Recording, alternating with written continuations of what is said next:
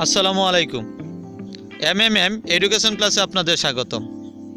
আজকে আমি আপনাদের দেখাবো কীভাবে একটি লেটার শিখে আপনি যে কোনো লেটার বা ইমেল লিখতে পারেন। আপনারা নিশ্চয়ই জানেন লেটার এবং ইমেলের পার্ট অফ দ্য বডি একই থাকে। সেই ক্ষেত্রে আমরা উপরে হেডিংটা ভিন্ন করি। সেই ক্ষেত্রে আমরা আপনারা ইমেলের উপরে হেডিংয়ের নিয়মটি শিখে নেবেন। আমি আপনাদের সুবিধার্থে উপরে লেটারের নিয়মটি লিখে দিয়েছি। তো নিয়মটি আমি এক্সাম্পল হিসাবে এইভাবে উপস্থাপন করেছি।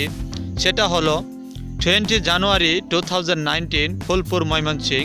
My dear am at first take my salaam I hope you are very well by the grace of Allah I am well too yesterday I received you letter you wanted to know about তারপর আপনারা দেখতে পাচ্ছেন এখানে gap দেওয়া আছে।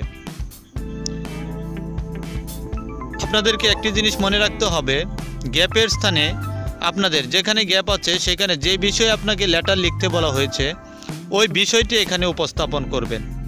এই গ্যাপের স্থানে আপনাদের যে বিষয়টি, যেই বিষয়ে আপনাকে লেটার বা ইমেল লিখতে বলা হয়েছে, ওই বিষয়ের চার থেকে পাঁচ লাইন এখানে আপনাকে নিচ থেকে লিখতে হবে। আর উপরে যেটুক আমি দিয়েছি, ওইটুক আগের মতোই থাকবে।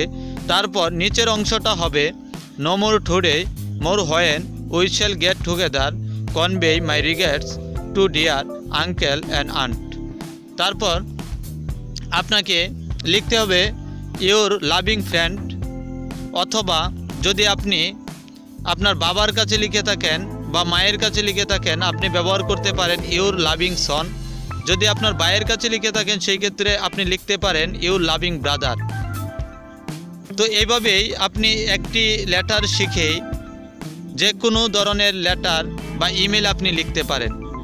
এম এম এম এডুকেশন ক্লাসটি যদি আপনাদের ভালো লেগে থাকে, তাহলে সাবস্ক্রাইব করে নিন, লাইক, কমেন্ট এবং শেয়ার করে বন্ধুদের জানিয়ে দিন। ধন্যবাদ।